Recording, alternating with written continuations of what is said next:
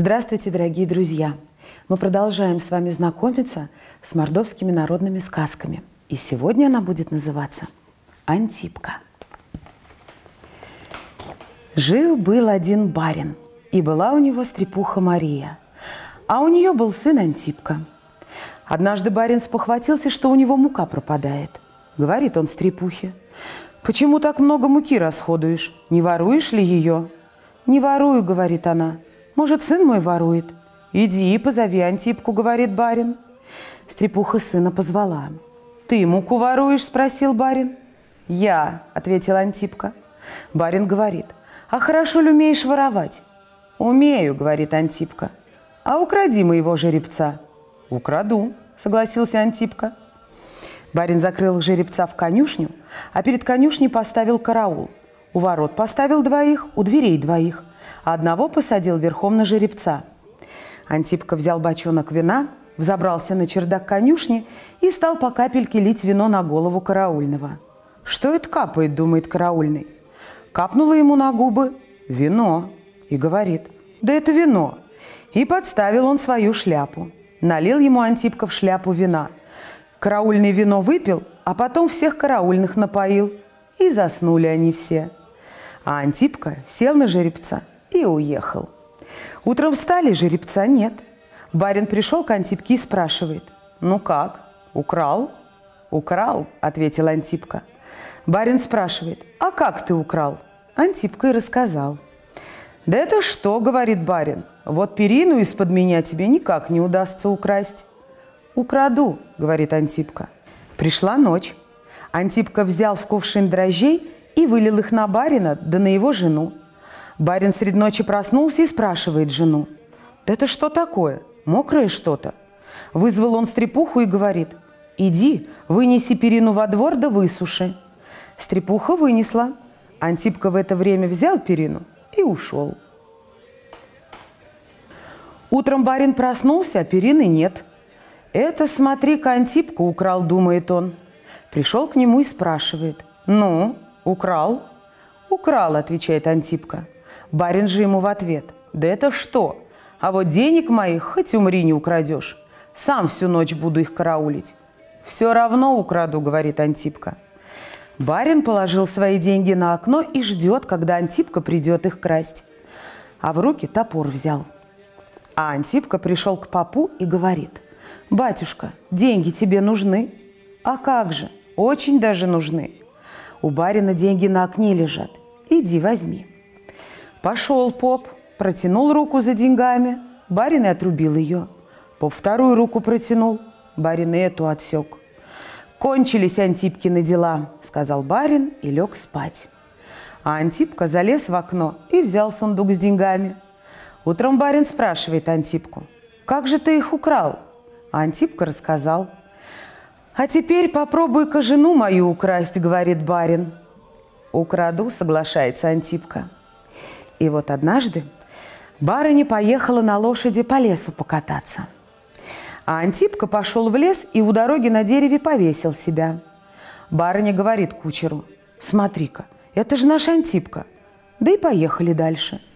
А Антипка пошел по другой дороге, опередил их и опять повесил себя на дереве. Едет барыня и говорит кучеру, смотри-ка, и тут Антипка, и там такого видели. Поди-ка посмотри, там ли тот – Кучер ушел, а Антипка вылез из петли, сел на тарантас и погнал лошадей. Подъехал к морю и барыню бросил в воду. Приехал домой и говорит барину. «Я жену твою украл». «И где она сейчас?» – спрашивает барин. «Бросил в море, к бесам». «Ты иди, — говорит барин, — найди мою жену. Если найдешь, все богатство тебе отдам». Антипка снарядился и ушел. Шел-шел по лесу, Ему заяц навстречу. Решил Антипка убить его. «Погоди, не убивай меня», — говорит заяц. «Самому тебе добро сделаю». Не стал он его убивать, дальше пошел. Идет, а навстречу ему медведь. Решил он и его убить, а медведь и говорит, «Погоди, не убивай меня, самому тебе добро сделаю». Не убил он и его. Шел-шел, воду нашел, сел на берегу и стал веревки вить. Из воды бесенок вышел и спрашивает, Что ты, дяденька, делаешь? Веревку вью. Зачем веревку? Воду мутить. Зачем мутить? Вас душить. Бесенок быстро бросился в воду, пришел к деду и рассказывает. «Дедушка, вон там сидит молодец, веревки вьет, нас душить думает». «Иди, скажи ему, что наше море бездонное». Бесенок вылез и говорит. «Наше море бездонное, а у меня веревка бесконечная», — говорит Антипка. «На, посмотри да смерь». Бесенок мерил, мерил, никак не мог измерить до конца. И бросился в воду. Там деду и говорит. «Дедушка, у него веревка бесконечная». А дед ему в ответ. «Побегите с ним, проверьте, кто быстрее бегает». Вышел бесенок и говорит. «А давай побежим, кто быстрее». «Да где тебе со мной бежать? Есть у меня младший брат. Попробуй с ним побегай». «А где он?» – спрашивает бесенок. Антипка крикнул зайца и говорит. «Попробуй, догони моего братишку». Бежал, бежал бесенок за зайцем, не смог его догнать. Бесенок опять в воду нырнул и рассказывает деду. У него есть маленький братишка, бежал я за ним и догнать не мог. «Иди», — говорит дед, — «попробуй, кто из вас сильнее». Вышел бесенок и говорит, «А давай поборемся, кто сильнее». «Да где тебе со мной бороться?» — говорит Антипка. «У меня есть дед, сначала с ним поборись». «Ну, давай с ним бороться буду», — согласился бесенок. Антипка вызвал медведя. Пошли они в лес и стали бороться. Медведь чуть кишки у бесенка не выпустил. Бесенок нырнул в воду и рассказывает деду. Я с его дедом боролся, чуть кишки он мне не выпустил. Старик дал ему дубинку. «Иди теперь, бросьте эту дубинку, кто выше закинет», — говорит ему дед.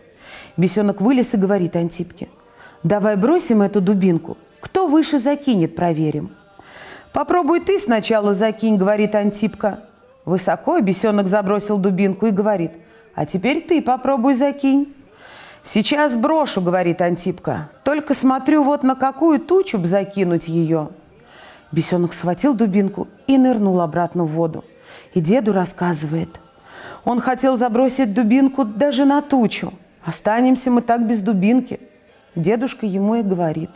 «Иди, отдай ему барыню». Антипка привез барыню. Барин отдал ему все свое богатство. Антипка превратился в барина, а барин в нищего. Вот такая на сегодня сказка. До новых встреч, дорогие друзья! Soda